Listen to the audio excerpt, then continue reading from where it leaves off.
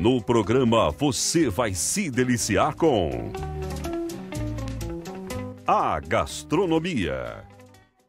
Para você que quer sair da cidade para deliciar-se de uma boa comida bem próximo da natureza, uma grande opção gastronômica é o restaurante Lagoa Velha, quilômetro 20 da Estrada da Guia.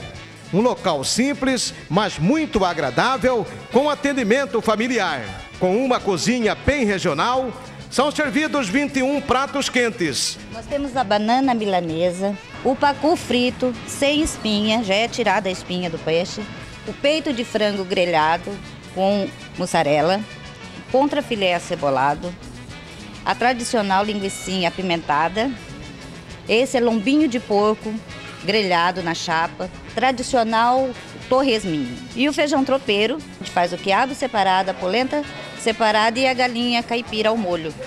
Daí fica opcional para a pessoa se quiser comer o quiabo ou só a galinha. Galinha caipira. Galinha caipira. Temos o macarrão, geralmente a gente faz o macarrão vermelho, com molho vermelho, ou então faz com brócolis. Costelinha de porco com arroz, que é a tradicional da região, e a galinha com arroz.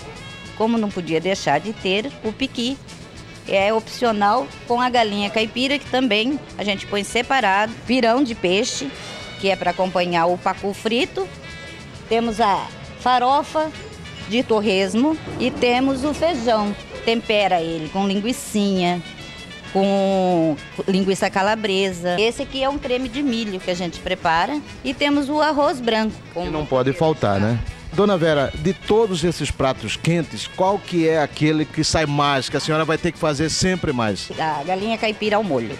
Não pode faltar de jeito nenhum. E o torresminho também. Saladas. A salada cozida e temos a salada crua, que é as folhas, o tomate, que é salada crua, o pepino também, que é e temos uma conserva que é feita na casa também, couve-flor, rabanete e a pimenta de cheiro. Famosa e tradicional sobremesa. Doce de leite com coco, o famoso furundum e a rapadurinha de leite com coco. Dona Vera, parabéns. Eu quero agradecer, seu Roberto França, por ele ser já cliente meu há bastante tempo. Ele proporcionou para gente essa oportunidade de mostrar o nosso trabalho.